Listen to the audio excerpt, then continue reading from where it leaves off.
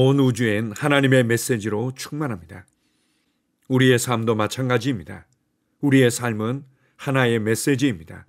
영원토록 읽혀질 영광의 메시지이기도 하고 영원토록 읽혀질 교훈의 메시지가 되기도 합니다. 그런 의미에서 그리스도인은 구름같이 허다한 증인들이라고 말씀하고 있습니다. 하나님의 사랑과 하나님의 구원의 은혜와 하나님의 신실하심과 하나님의 자비와 하나님의 인내와 하나님의 지혜에 대한 증인들인 것입니다.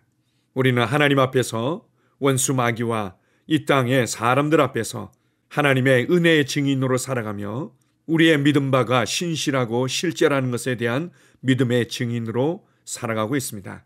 할렐루야. 아멘. 4월 10일 주일 말씀의 실제입니다. 구름같이 둘러싼 증인들. 히브리서 12장 1절입니다. 이러므로 우리에게 구름같이 둘러싼 허다한 증인들이 있으니 모든 무거운 것과 얽매이기 쉬운 죄를 벗어버리고 인내로서 우리 앞에 당한 경주를 하며 성경에 게시된 구름의 상징적 의미를 알고 이해하는 것은 중요합니다. 성경은 종종 사람들을 나무로 비유하는 것과 같이 그들을 구름에 비유합니다. 예를 들어 이사야서 61장 3절은 사람과 나무가 가진 공통점을 보여줍니다. 여기서 우리를 의의 나무, 곧 여호와께서 영광을 받으시기 위하여 심겨진 나무라고 불립니다.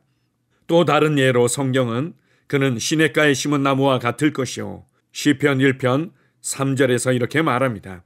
이 구절에 대해 묵상해 보십시오. 이와 같이 우리는 또한 구름이라고 불립니다. 예수님께서 십자가에 못 박혀 죽으시고 지옥으로 내려가셨을 때 그분은 하늘에서 기다리던 구약의 성도들을 음부에서 데리고 나오셨습니다. 예수님의 부활 후 그들은 무덤에서 나왔고 그들 중 몇몇은 실제로 거룩한 도성의 많은 사람들에게 모습을 보였습니다. 사도행전 1장 9절은 말합니다. 이 말씀을 마치시고 그들이 보는데 올려져 가시니 구름이 그를 가리어 보이지 않게 하더라. 누군가 성령의 영감을 받아 우리에게 구름이 그를 가리어 보이지 않게 하리라고 말했음을 주목하십시오. 여기서 누가는 대기 중에 떠다니는 응축된 수증기 덩어리에 대해 말한 것이 아닙니다.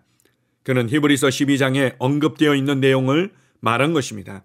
이러므로 우리에게 구름같이 둘러싼 허다한 증인들이 있으니 모든 무거운 것과 얽매이기 쉬운 죄를 벗어버리고 인내로서 우리 앞에 당한 경주를 하며 히브리서 12장 1절 믿음의 삶을 산 증인들로 이루어진 이 거대한 구름 무리는 히브리서 11장에서 말한 자들입니다. 이들은 하나님의 왕국을 위해 그들의 믿음으로 위대한 업적들을 남긴 사람들입니다. 이 믿음의 증인들은 그 시대에 왕국들을 정복하고 초자연적인 일들을 행했습니다. 그들은 자신의 세상을 다스렸습니다. 그들은 의를 행했습니다. 즉, 다른 사람들이 잘못된 행동을 따를 때 그들은 진리를 위해 굳건히 있어서 승리했다는 뜻입니다. 우리는 종종 그 사람들을 믿음의 명예의 전당에 있는 사람들이라고 부릅니다. 실로 그들은 구름과 같은 증인들이며 각자의 영광을 가지고 있는 사람들입니다. 할렐루야. 아멘. 마태복음 27장 51절에서 53절 말씀을 보게 되면 이에 성소 휘장이 위로부터 아래까지 찢어져 둘이 되고 땅이 진동하며 바위가 터지고 무덤들이 열리며 자든 성도의 몸이 많이 일어나되 예수의 부활 후에 그들이 무덤에서 나와서 거룩한 성에 들어가 많은 사람에게 보이니라. 예수 그리스의 부활에 참여한 첫 열매들을 말씀해 주고 있습니다. 예수님께서 지옥으로 내려가셔서 사망의 고통을 겪으시고 하나님의 공의가 만족되시고 난 이후에 성령의 능력으로 다시금 일으켜 주셨습니다. 예수님께서 부활하실 때 혼자만 부활하신 것이 아니라 구약의 성도들을 음부에서 데리고 나오셨음을 말씀하고 있습니다. 그리고 나서 그분이 승천하실 때 하늘로 올라가실 때 500여 명의 사람들이 예수님의 하늘로 올려지심을 지켜보았습니다. 그리고 이후에 구름이 예수 그리스도를 가리어서 보이지 않게 하셨다고 말합니다. 한편으로는 하늘에 있는 실제적인 구름에 의해서 예수님을 더 이상 볼 수 없었다는 의미일 수도 있겠지만 그러나 히브리서 12장 말씀과 연결해서 우리가 이 부분을 다르게 해석할 수도 있습니다. 그것은 바로 구약의 성도들이었다는 거죠.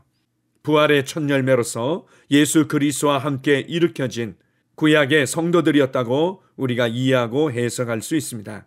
무엇보다도 히브리서 12장에서 이렇게 말합니다. 우리에게는 구름같이 둘러싼 허다한 증인들이 있다.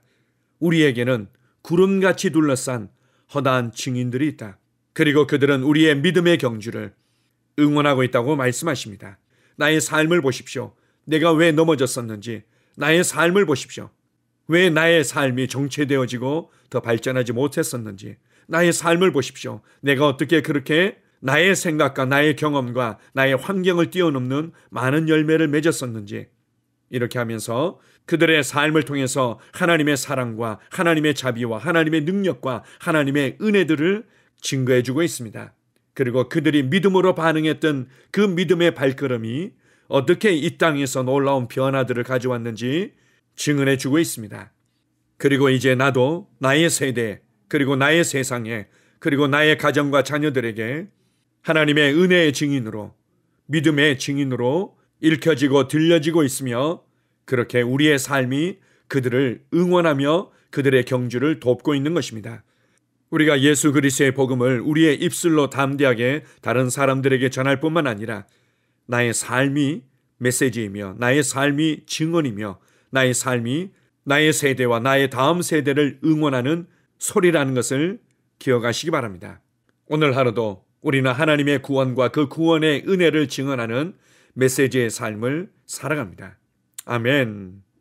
함께 고백하겠습니다. 나는 주님께서 심으신 의의 나무입니다. 나는 주님의 의를 나타내고 어디에서나 모든 사람에게 그분의 구원을 전하는 구름입니다.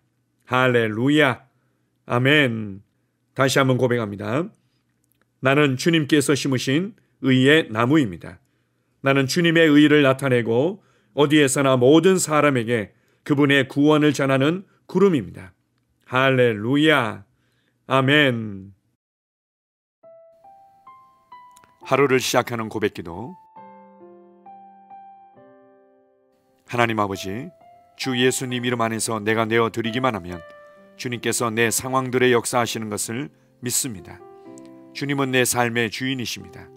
그러므로 나는 오늘 주님께서 주님이 예비하신 최고의 경로를 따라 나의 발걸음을 인도해 주시기를 기도합니다. 나는 오늘 주님께서 내게 만나도록 교회 가신 사람들만 만날 것이며 내가 듣도록 교회 가신 것만 들을 것이며 내가 말하도록 교회 가신 것만 말할 것입니다. 나는 오늘 성령님의 기름 부음 안에서 하나님의 자녀로서 기능합니다. 나는 오늘 예수 이름 안에서 빛 가운데 걷습니다. 오늘 제 삶에서 만나는 사람 중에 우연히 만난 사람은 없을 것입니다. 예수 이름으로 다스리는 영이 오늘 내 안에 역사합니다. 나는 두려움을 거절합니다.